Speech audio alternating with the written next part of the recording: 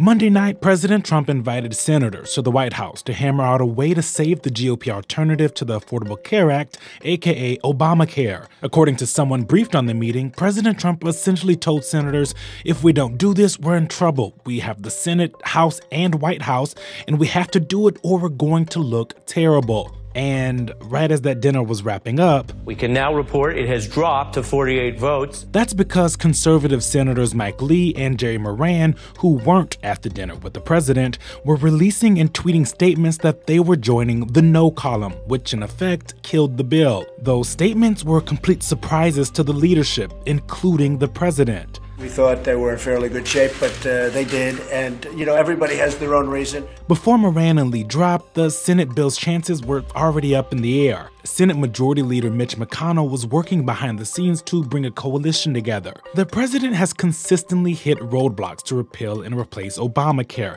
But how much does Trump really care about getting a better health care bill? Sources tell Politico, not much. People close to the president say repealing Obamacare is a matter of winning, and the president isn't very concerned with the specifics. Late Monday night, the president tweeted that Republicans should just pass a clean repeal bill and replace Obamacare later on. But not even 24 hours later, enough GOP senators have come out against that plan, killing it, at least for now.